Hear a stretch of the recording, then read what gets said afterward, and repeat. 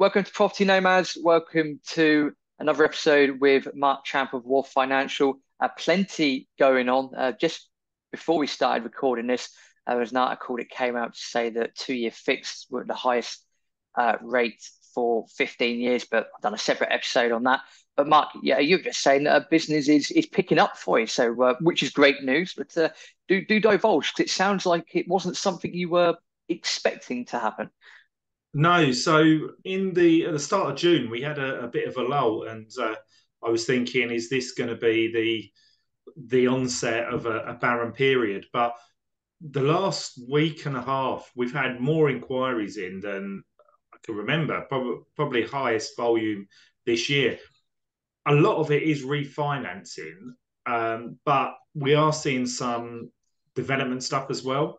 Um, we've actually, uh, and forgot to mention to this uh, this to you. Uh, we've actually put a new development finance tool on our website, so that's working really well. We've partnered up with a company called Brickflow, and uh, now you can go onto our website, type in your development um, criteria, so your purchase price, your build cost, your legals, GDV, etc., and then it'll come up with a list of between twenty and forty lenders and their terms. So you'll see the rate, you'll see the fee, see all these all these things, um, and then hopefully we can take that through. So we've got that on our website, and yeah, I think people are taking advantage of it because it's a quick way of being able to get terms and verify projects, and then they can see if it works and come into us, and then we can try and um, take the process forward. So that that's been really good, and that could be uh, one of the reasons why we're seeing more volume. Um, but I think also what we're going to see is a lot of the high street lenders, where they've been putting people on five year fixed terms, I think they're going to be coming off in the next few months and maybe year. Um, and that is that's going to mean refinances, but it's going to cost people more money. But if they get in early, it'll be you know a cheaper rate hopefully for them yeah, fingers crossed. I mean, we've been saying, now Phil, uh, you know, we've been beating the same drum for for a while, and we said it at the start of the year, and I think probably even said it at the back end of of last year that what would happen is that the Bank of England would just keep increasing rates, increasing rates, my understanding is it normally takes 12 to 18 months for those changes to then filter through into the you know the actual economy you know for, for you and i. And, and, they'll keep going until something breaks. And i'm you know i i'm, I'm more convinced than ever that that's going to happen sooner rather than later. But from what i see is yeah people that are coming out off their off their fixed uh you know five year fixed whatever they're on now um obviously I'm not the broker, you are, but if I was in people's shoes, I'd be saying, well, actually, you know, th- those rates keep going up. Maybe it's just worth biting the bullet and, and doing that now. I mean, that's that's what I would say, but uh... yeah, and we are seeing that. We're seeing quite a few people break their early repayment charge, and um, they are deciding to fix in now because they're seeing reports of six, seven, seven and a half percent. Um, personally, I don't think you'll get that high, but um, when the media reports these things, people do um, go for the worst case scenario a lot of the time. So, yeah, we're we're seeing a lot of people um, trying to get their house in order. Maybe they should have done it before, but um, anyway, it is what it is. And I think there's also a lot of people just waiting for it to tip over the edge so that the cheaper value properties come on the market. Um, but I was, reading something today. A one of the lenders put on uh, LinkedIn, and they were talking about the the actual problems in the market and are they actually that bad? And they pointed towards the level of capital in the market still, and there there is, you know, lenders are still lending. It's it's more expensive, but they're still lending, and there's not a shortage of funds.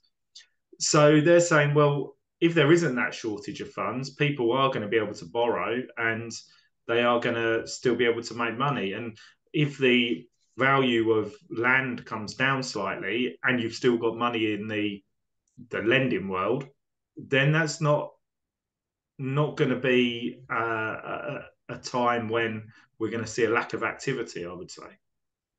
Yeah, I think um, I, I, should uh, sort of re-emphasize what I was saying from a point of view of that everything. I I think will come sort of crashing down at some point, but that's not. Yes, housing might take the brunt of that, but there's there's a lot of other external bigger factors that are going to contribute towards that. But yeah, you are spot on. I mean, if your cost of your mortgage is say seven percent, or you know you're doing a development deal, or you're buying a buy-to-let portfolio, whatever it is, if the cost of the mortgage, cost of finance is say seven percent, but your ROI is going to be fifteen percent, doesn't matter. You know, if if if mm. your mortgage is hundred percent, but your return on investment is two hundred percent, yeah, I think I think the thing that I find that people struggle with is that again the last 15 years or so we've been so well take the last year out we've been so used to abnormally low interest rates that actually even these slight movements i think the bank of england rate on average since what 1694 has been about 5% hit or give or take. So actually we're just going back to a bit of normality but i think people are so programmed to have much lower rates that it's maybe taken them off guard. But I, I think i think you're spot on there that actually the mortgage rate doesn't really matter. What's your cash flow, what's your return on investment, and if that's if that's better, then you're still in the winning position. Yeah, and one thing I would just mention to people is the loan to value covenants that lenders will put into their documentation because they'll you know usually put in something like 75% loan to value. Uh, it, it, can't go over but there's also usually a clause in there that says at any point of time the lender reserves the right to be able to value the property so if they say if there is a bit of a dip and they decide to value it and your property has dropped five, 10%, and you're at 75% loan to value already, you're not at 75% loan to value then, and it, it changes. So I don't think it's going to get to the same um, level as in 2008 when banks were potentially using this to uh, mechanically um, engineer situations so that they um, were protected. Um, but and I, I, think the the whole industry has learned from that. Um, but it's something to look out for when signing new loan facility agreements. Fair enough. That's a great great piece of advice. I haven't seen anything else in the news that um, I, I, could think of that's worth going over apart from the, the, what we've already discussed. Is there anything from your perspective when you're dealing with clients? Is there anything else you've seen or noticed that uh, that's worth showing? Um, I would say the bridging rates have actually they, they've gone up, but they're not going up as quickly as we're seeing the longer term lending rates. So we're we're doing a, a case for somebody at the moment, a commercial uh, property, and the actual commercial long term rate is not too far off what the bridging rate is now.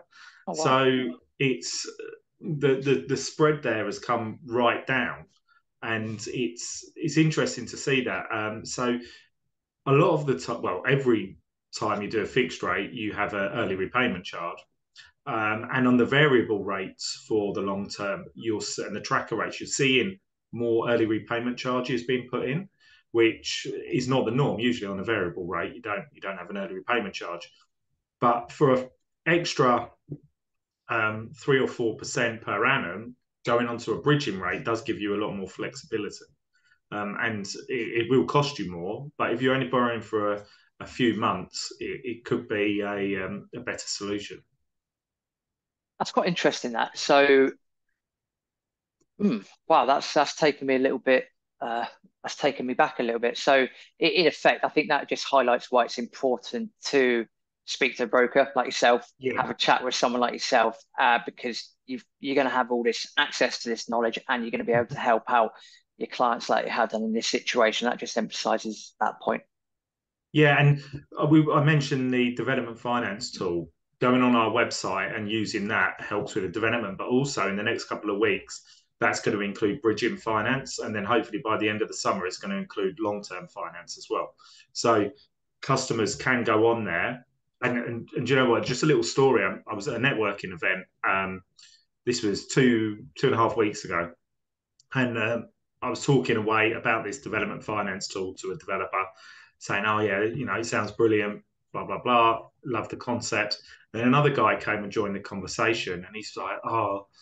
You're not talking about this tool. And I was like, Yeah, I am. He said, Oh, it's rubbish. It's awful.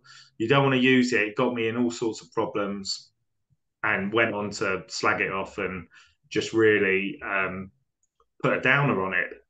And I said, Well, tell me what happened. Tell me about the scenario. And he said, Well, I went on there, typed in all my my um, data that I needed to.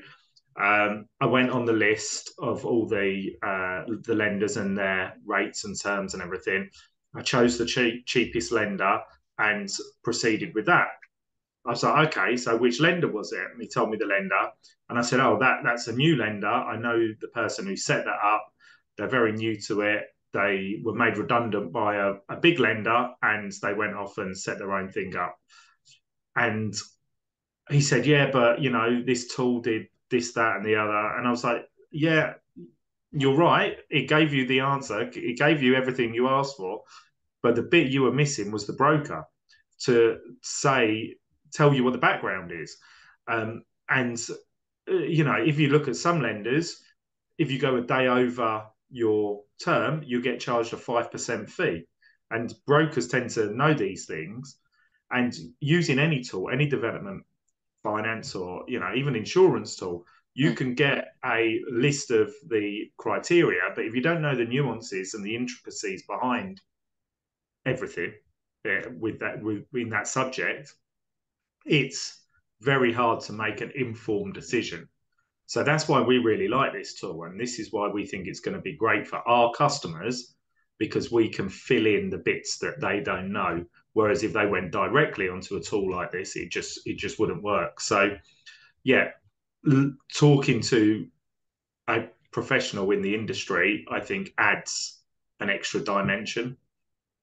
It, it really does, and we've always said on this podcast, and when we're you know networking, speaking to people, it's you know brokers a key part of the power team, and uh, obviously there's a lot of different key parts to a power team, but that just highlights why you've got to maybe dealing with your portfolio insurance, uh, finding a, a product for a, a, deal you're looking to do.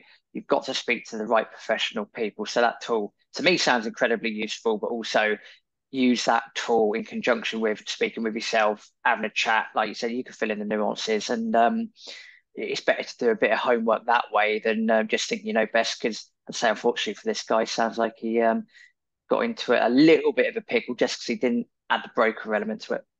Yeah, and you always have to remember the saying, empty vessels sound the loudest. So those people that don't know what they're talking about will shout. So it's um yeah, just with this sort of thing, just see take your own experience rather than listening to everybody. And we see it massively in the property world with all the training companies and on all the online forums, mm. everybody talking. I know this, I know that and you know just get on, do it yourself, keep quiet, and make some money. I think on that note, that's the perfect place to stop. Uh, as usual, for those listening, uh, if you're watching this on YouTube, actually give us a like and press that notification bell, and we'll put all the necessary links to Wharf Financial in the YouTube description or the show notes on the podcast. Uh, Marc, uh, yeah, good luck with all the uh, those tools moving forward. Hopefully, get some business from people listening to the podcast or watching this on YouTube, and uh, catch up in August. Great, thanks a lot.